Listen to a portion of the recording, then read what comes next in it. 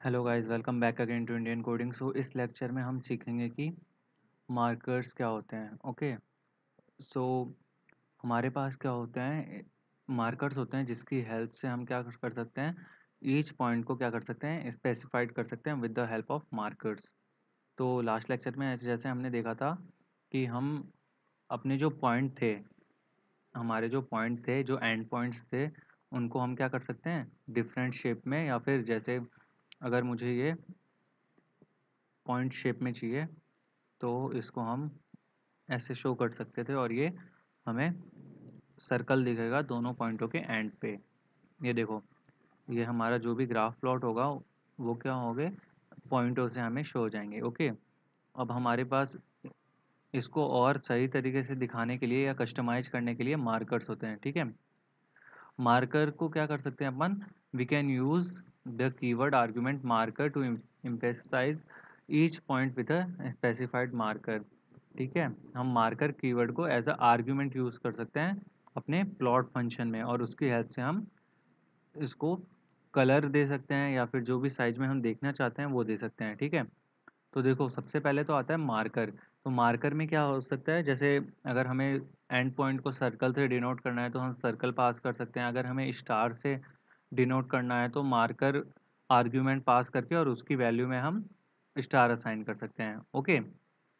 इसके साथ में हम क्या कर सकते हैं? हम कलर पास कर सकते हैं और लाइनें शो कर सकते हैं, ठीक है?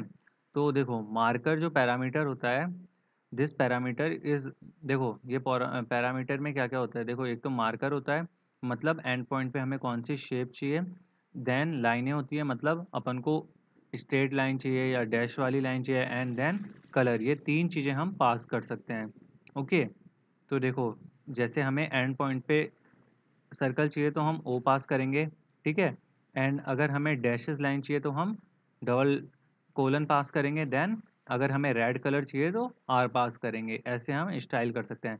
तो देखो, हमें जिस शेप का चाहिए, उस शेप के लिए देखो कितने सारे हमारे पास मार्कर डिफाइन हुए हैं। देखो ओ बिग ओ ओ के लिए सर्कल होता है स्टार होता है डॉट के लिए पॉइंट होता है देन कोमा के लिए पिक्सल होता है तो ऐसे बहुत सारे हमारे पास डिफाइन होते हैं ओके और लाइन के लिए देख लो लाइन के लिए अगर हम डैश पास करते हैं तो सॉलिड लाइन आती है, ठीक है? अगर हम कोलन पास करते हैं तो डॉटेड लाइन आती है डबल डैश पास करते हैं तो डैश लाइन आती है ओके और इसी तरीके से हमारे पास क्या होते हैं? कलर होते हैं तो कलर में रे आर जी बी ठीक है? तो ये कलर हम पास कर सकते हैं। तो अब हम क्या करते हैं, एक बार उसको हम यूज़ करके देख लेते हैं, ओके? तो देखो, अभी हमारा क्या नॉर्मली पॉइंट शो हो रहे हैं तो इसको हम रिमूव कर लेते हैं, ओके? एंड हम इनको ले लेते हैं कि स्टार दिखनी चाहिए एंड पॉइंट में एंड डैश, डॉटेड लाइन होनी चाहिए और कलर दे देते हैं ग्रीन, ओके? अब हम इसको रन करके देख लेते हैं। ओके। तो हमने क्या किया है इनको? सिंगल कोट्स में बंद नहीं किया। अब हम रन करते हैं इसको। तो देखो गाइज़ जो एंड पॉइंट्स हैं उन पे स्टार शो हो गया क्योंकि हमने स्टार भेजा था और लाइन में हमने डॉटेड लाइन के लिए तो डॉट लाइन आ गई और कलर हमने ग्रीन दिया था तो ग्रीन में शो हो गया। सो so, इस तरीके से हम अपने लाइन को स्पेसिफाइड कर सकते हैं as we want.